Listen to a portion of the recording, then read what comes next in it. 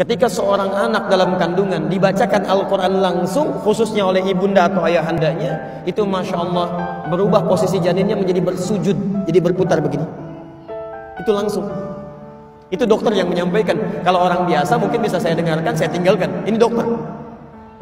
Lalu kami coba praktekkan pada anak kami, anak yang pertama. Ya, kita coba mulai tingkatkan amal saleh, tingkatkan amal saleh, baca Al-Quran, sampai kami beli speaker aktif Ya, kemudian diisi USB. Di situ Quran aja terus berputar sampai 24 jam. Sampai hari ini. Jadi walaupun kita kosong, rumah tidak ada, itu Qurannya tetap putar, Pak. Jadi kalau antum nanti ingin coba silahkan akan ada suasana yang berbeda. Nikmat, tenang gitu. Kadang-kadang jadi hidayah. Jadi hidayah di situ. Nah, kalau istri kami sedang kesulitan, capek, maka pakai earphone, tempelkan di di, di perutnya.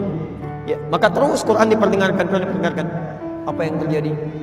Begitu anak ini dilahirkan, kemudian mulai berkembang, usia satu bulan, dua bulan.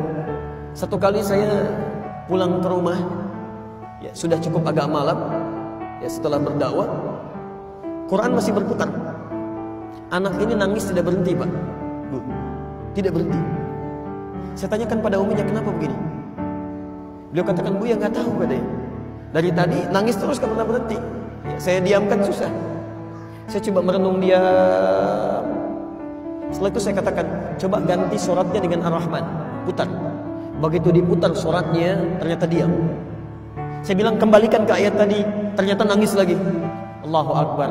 Ternyata ayat yang sedang dia perdengarkan itu, yang sedang dia dengar, itu ayat yang sedang berbicara tentang siksa neraka.